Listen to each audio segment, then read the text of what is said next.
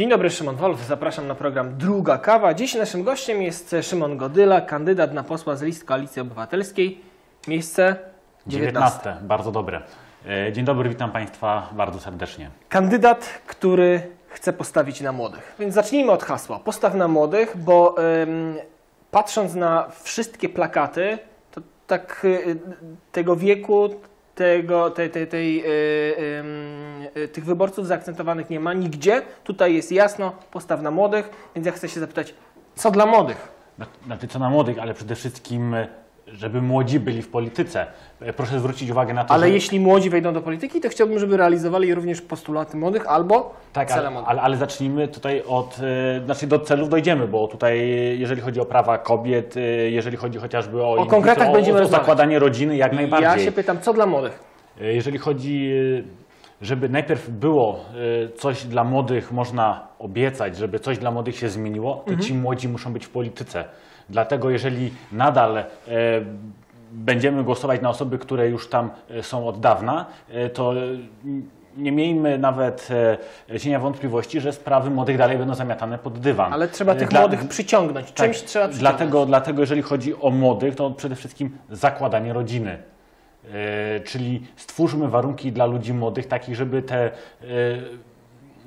start w życiu był e, możliwie e, dobry. To samo, jeżeli chodzi o zakładanie chociażby działalności. Jako Koalicja Obywatelska proponujemy, żeby mikrofirmy, czyli e, ci pracodawcy zatrudniający do 10 osób, e, jeżeli mają pracownika i ten pracownik idzie na chorobowe, żeby od pierwszego dnia e, wypłacał to ZUS, czyli e, żeby tym młodym ludziom ułatwić zakładanie i skalowanie biznesu, ponieważ e, najtrudniej prowadzi się biznes w momencie od zatrudnienia pierwszego pracownika, powiedzmy sobie tam do, do tego dziesiątego, bo wtedy ta firma tak naprawdę jest na rozruchu i każdy pracownik, który e, choruje, a ludzie chorują, mają do tego e, prawo, pozwólmy Na szczęście, jeszcze tak, tak. to dokładnie, ale też e, dajemy pracodawcy szansę na to, że jeżeli będzie miał pracownika, który choruje, to to nie zatrzęsie jego sytuacją finansową w firmie. Kolejne chociażby in vitro. E, Jest to naprawdę bardzo istotny pomysł, jest problem. Ja pamiętam, jak kiedyś za czasów studenckich żartobliwie się mówiło, że trzeba uważać, żeby nie wpaść. To ja z perspektywy czasu uważam, że trzeba wiele razy próbować, żeby się udało. Trzeba wpaść. E, znaczy nie wpaść, ale, ale to pokazuje, że wiele osób e, w Polsce ma problemy e, z potomstwem. E, Dużo osób chce mieć dzieci, a ich z powodów naturalnych mieć nie może. Mamy świetną metodę in vitro.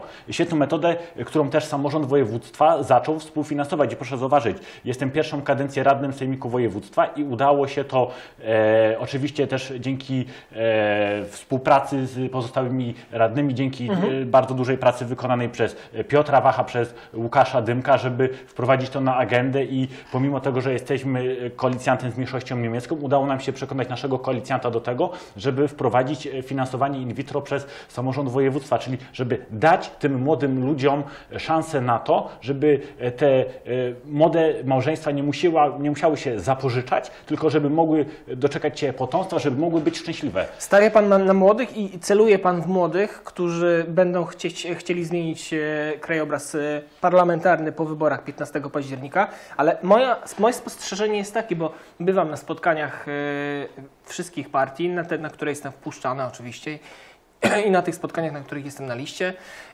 i, i, czy koalicja, czy trzecia droga i tak dalej, i tak dalej, to są spotkania no nie chcę być tutaj posądzany o genderyzm, ale e, ludzi troszeczkę starszych. Jedynym spotkaniem, na którym była bardzo duża ilość ludzi młodych, to jest Konfederacja. Tam e, w Centrum Kongresowo-Wystawienniczym było bardzo dużo młodych ludzi. I a propos pomysłów na politykę, to trzecia droga, większy nacisk w szkołach na angielski. Lewica, uwaga, tysiąc złotych dla każdego studenta. Oraz Krajowy Rzecznik Praw Studenta. Konfederacja, zlikwidowanie kuratoriów. Co jeszcze dopisujemy i może co jeszcze, albo e, z których postulatów by się Pan wypisał, albo co dodał dla, dla młodych ludzi. E, przede wszystkim tutaj bardzo e, prosto, e, droga, 100 konkretów. Będziemy pytać.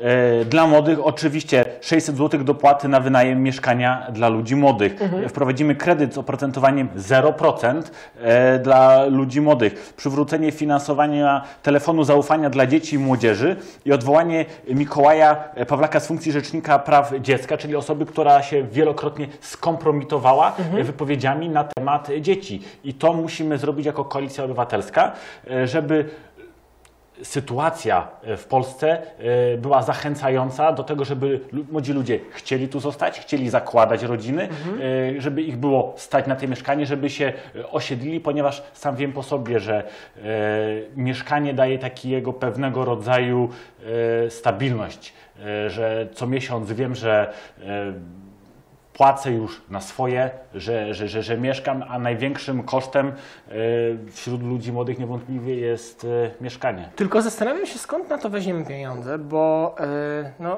odla, od lewa do prawa wszyscy obiecują nam dużo rzeczy, kosztownych rzeczy. Kredyt 0% e, to się też odbija na cenach nieruchomości, bo te ceny nieruchomości drożeją Tak, bo, bo, później. tu- bo tutaj też dobrze Pan zwrócił uwagę, ponieważ mamy popyt I podaż. I, i podaż.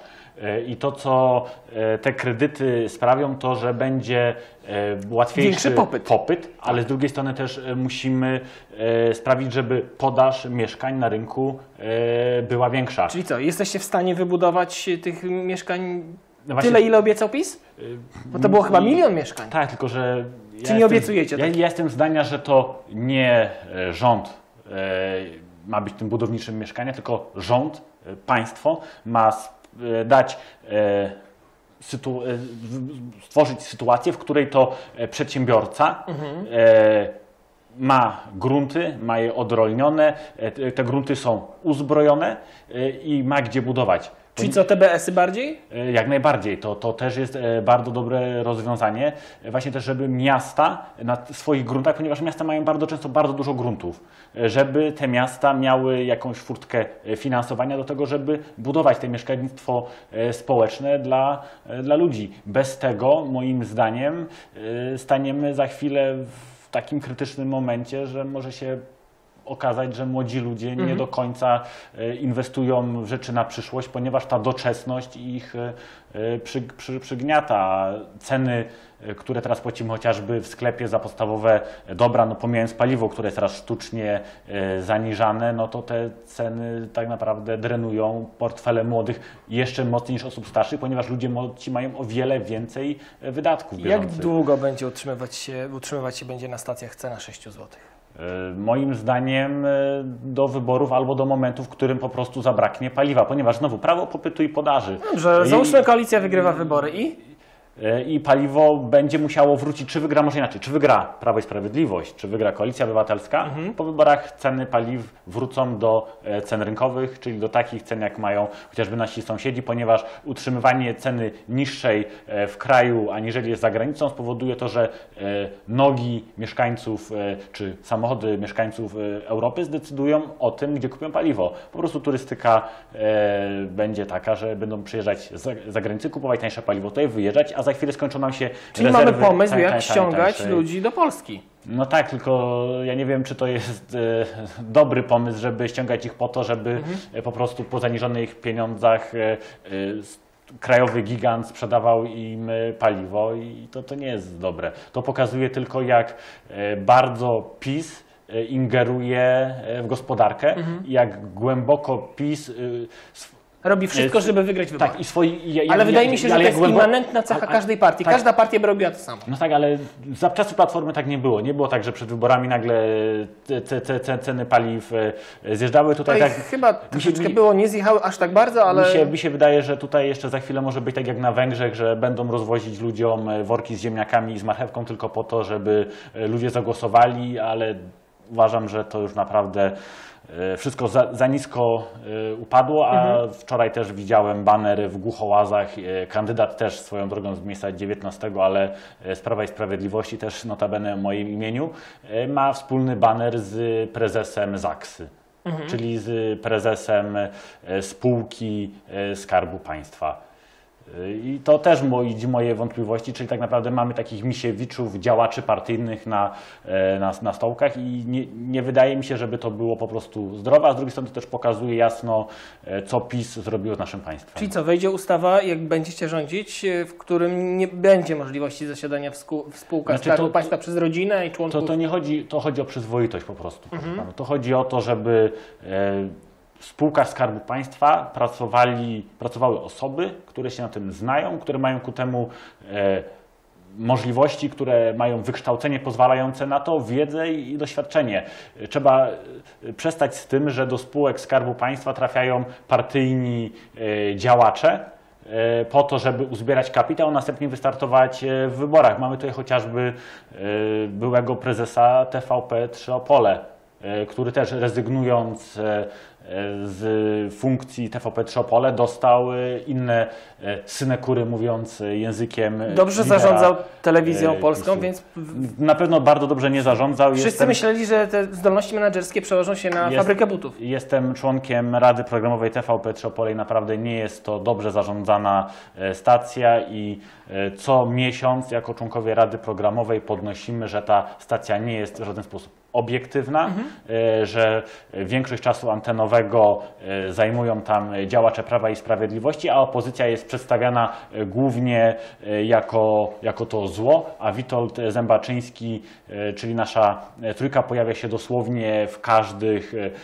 wydaniu ich wieczornego kuriera jako ten najgorszy z najgorszych. I to takie Powiedział budowanie pan, że zasiada y, w Radzie Programowej TVP, mówiąc wcześniej o y, kompetencjach, no to zapytam o kompetencje. Jakimi, ko- jakie kompetencje pozwoliły panu zasiadać w tej Radzie Telewizji? E, Do Rady Programowej e, nominowały partie swoich e, przedstawicieli. Ja dostałem tam partie plus. Mhm. Wiemy, tylko pytanie, czy- Różne gremia. Ja dostałem nominację z ramienia Koalicji Obywatelskiej i zasiadam tam. I teraz też niedawno złożyłem. Czyli wniosek, rozumiem, że śledzi pan i ogląda to, co się dzieje w regionalnych telewizjach. tak, e, śledzę to i oglądam i e, świetnie przypominam sobie wypowiedź pana Gduli e, sprzed chyba trzech dni, e, w której to mówił, że przyjadą tutaj e, obcokrajowcy, zaczną nam gwałcić e, kobiety i takie rzeczy są pokazywane w TVP Trzopole i my przeciwko temu protestujemy na Radzie Programowej, ale na Radzie Programowej problem jest taki,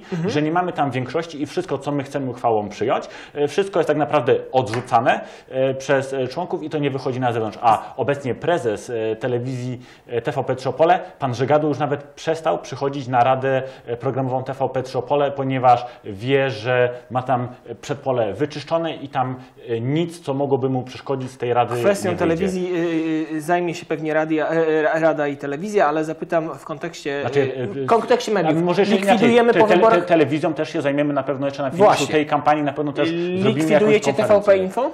Jeżeli chodzi o. o- Z TVP jest też taki problem, kiedyś się mówiło, że po wyborach przychodziła wielka miotła i. I pewnie tak będzie. Tylko, że problem jest taki, że w tej telewizji obecnie ciężko jest znaleźć rzetelnych dziennikarzy. Mhm. Ja oglądając TVP Trzopole nie jestem w stanie e, znaleźć dziennikarzy, którzy moim zdaniem e, nie są działaczami partyjnymi. Kiedy oglądam pana Gdule, e, pana Żygadło, to naprawdę ja się zastanawiam, czy e, czasami, czy to oni nie reprezentują PiSu, Nie rozmawiamy o TVP3, tylko rozmawiamy w ogóle o mediach. Czy jaki macie pomysł na media po wyborach? Chcielibyśmy, żeby media były takie jak chociażby BBC w Wielkiej e, Brytanii. Tylko z drugiej strony zdajemy sobie sprawę z tego, że w TVP3 Opole przez te, znaczy przez TVP3 już e, Polska e, zaszły tak głęboko idące zmiany, tak dogłębnie zostały wyczyszczone struktury z ludzi, którzy nie chcieli się poddać tej indoktrynacji i nie chciały głosić pro, programu Prawa i Sprawiedliwości, że tam tak naprawdę może się okazać za chwilę, że e, tam nie będzie na kim budować e, tej rzetelnej telewizji,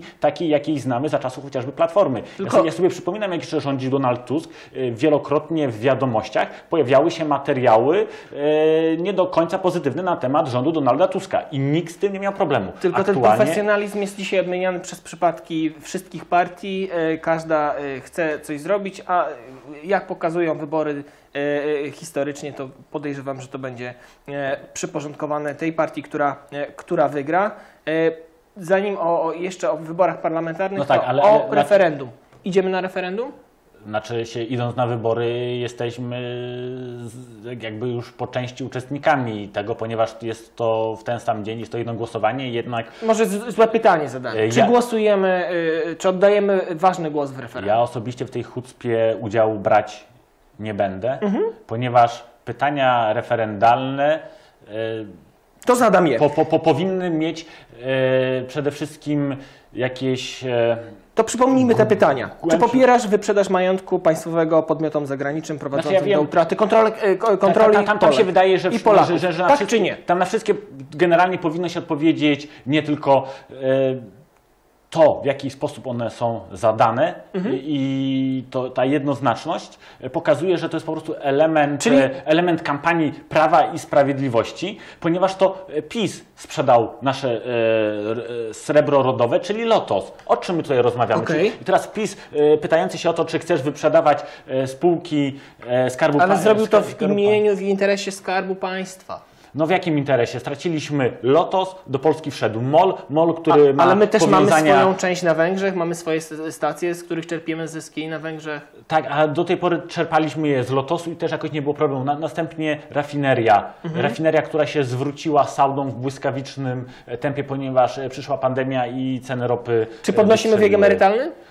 Donald Tusk to zrobił. Ale wiek emerytalny jest to sprawa już raz na zawsze zamknięta. W 2015 roku e, mieszkańcy, polskie obywatele stwierdzili, że nie chcą mieć podwyższonego wieku i my to szanujemy. Czyli nie. Mi- Mimo, że uważamy, że w obecnym e, systemie, gdzie e, ludzie będą bardzo długo na emeryturach, może być problem z wypłacaniem emerytury. Teraz jest pytanie, czy chcemy, żeby te emerytury były głodowe, ale były szybko, czy chcemy, żeby one były godne. Mhm. To jeszcze dwa Dlatego pytania trzeba- i za, za chwilę przejdziemy do 100 konkretów. Poproszę o wymienienie z pamięci 99. Znaczy, Czy popiera- żartuję oczywiście. Nie, nie, proszę.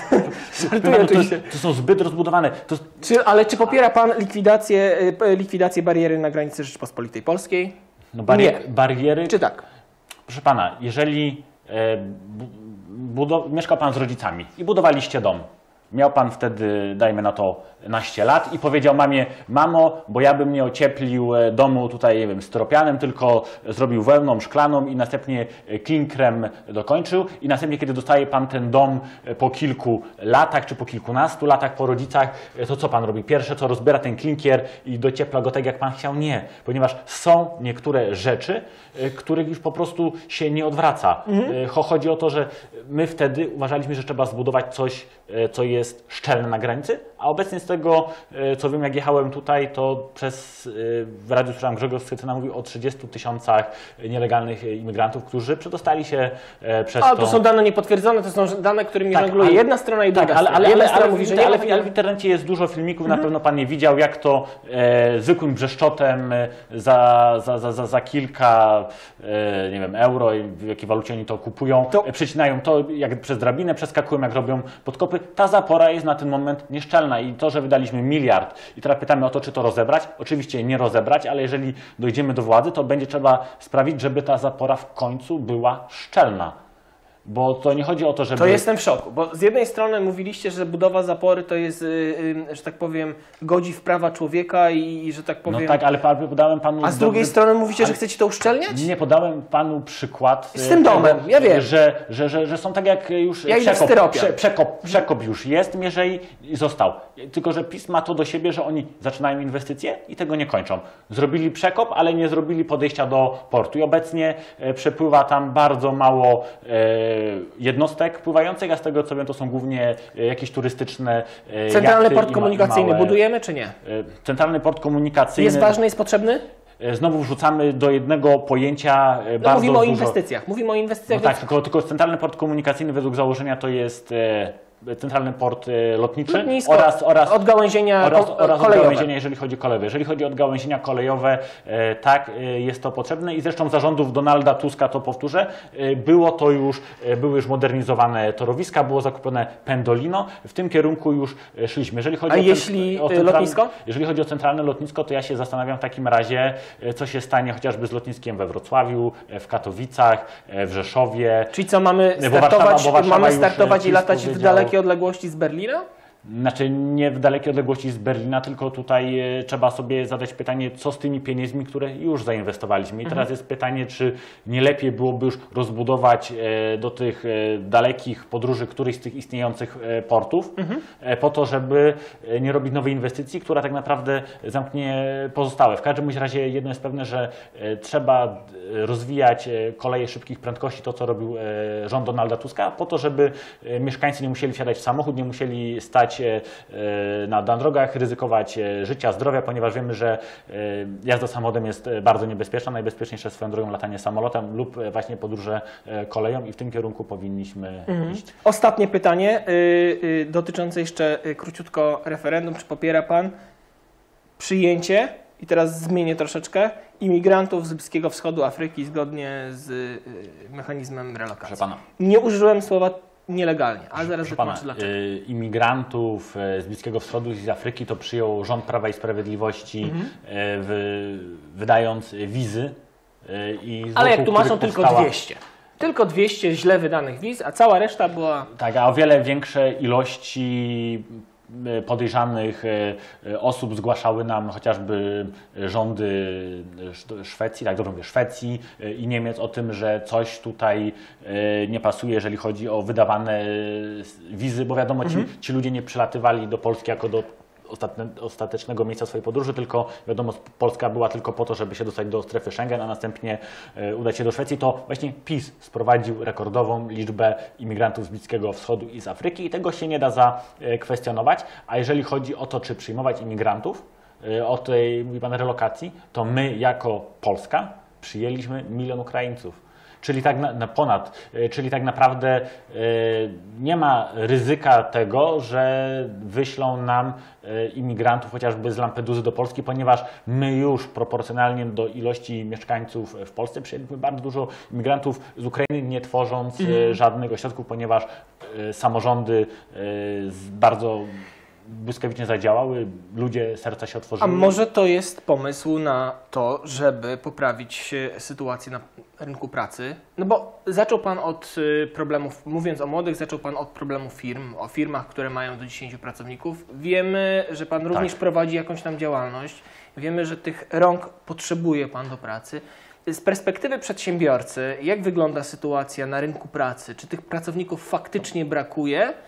Czy, Tak, czy, czy, czy, czy jest rynek pracownika, czy praco- pracodawcy w Pana opinii? Znaczy się tak naprawdę bezrobocia już nie ma i wszystkie roczniki statystyczne GUS-u jasno pokazują na to, że bezrobocia w Polsce już nie będzie. Czyli odgrzewanie strachu. Ale czy ludziach, brakuje rąk do pracy? Pamiętają. Właśnie tak, e, brakuje rąk do pracy, tylko tutaj mamy dwa rozwiązania odnośnie tego, co zrobić, żeby e, zakłady mogły dalej produkować. Mamy dwie ścieżki. Jedna to jest automatyzacja e, produkcji. Oczywiście tego nie zrobimy w rok, w dwa, ale gdybyśmy mieli pieniądze z KPO już w roku e, 2021, to już te pieniądze trafiłyby do biznesu no właśnie na automatyzację produkcji, czyli automatycznie Polacy... Zbierałyby winogrona w winnicach. E, widziałem, widziałem tak, widziałem e, maszyny, które zbierają automaty, są takie, ale, ale przechodząc do innych, chociażby jeżeli chodzi o, nie wiem, meblarstwo, e, o e,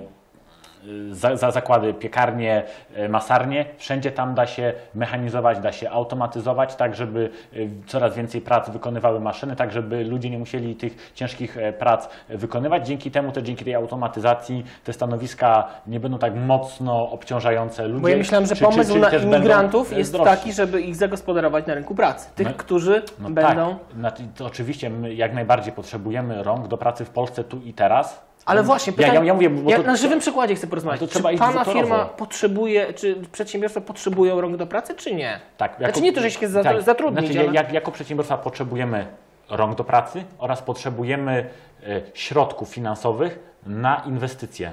Na Mhm. inwestycje, które do tej pory w dużej mierze realizowaliśmy dzięki wsparciu e, funduszy chociażby unijnych. Właśnie za te pieniądze udało się e, nabywać e, coraz to nowsze urządzenia, coraz to nowsze maszyny, dzięki którym to coraz więcej one zastępowały ludzi i ludzie mieli lżejsze stanowiska pracy.